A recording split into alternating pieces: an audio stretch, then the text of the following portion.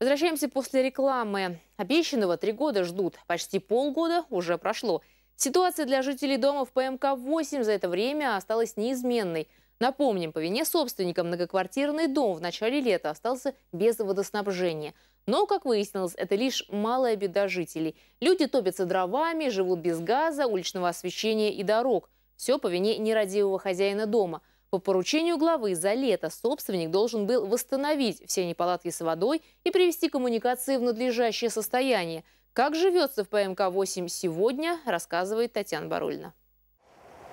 За последние четыре месяца в поселке мало что изменилось. Местные по-прежнему живут без горячей воды, топятся по старинке, дровами и углем.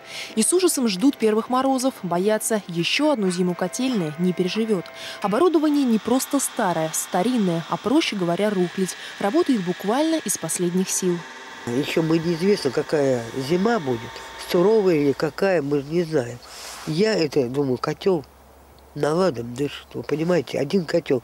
В резерве должен быть котел. Все равно в резерве должен быть котел. Этот сломался. И насос. Насос сломался, никому ничего не надо. Следить за коммуникациями и жилым фондом должен собственник фирмы «Эгера». Но по всему рачительным хозяином ее назвать никак нельзя. Оставила дом без присмотра, а год назад и вовсе отказалась обслуживать котельную и заключать договоры с ресурсниками. Чтобы не оставить людей без тепла, муниципалитет был вынужден передать котельную на баланс Клинской теплосети. И мы сейчас отапливаем этот дом. То есть несем затраты. Уголь покупаем, дрова покупаем – и все это в топку. Поэтому люди, конечно, будут с теплом, мы покупать будем. Хотя вопрос, конечно, что собственник хоть как-то должен прореагировать на это. Ну, пока никаких движений нету. Движений нет и в вопросах благоустройства территории. Люди умоляют собственника подключить уличное освещение, заасфальтировать дороги, договориться о переносе мусорной площадки. Считают, что тяжелые контейнеры продавливают ветхие трубы, из-за чего в доме постоянно перебой с водой. Здесь каждый раз бывает пролом. Или как труба сгибается, так как они чугунные, лопается. И водоканал едет ремонтировать. Два раза ремонтировал.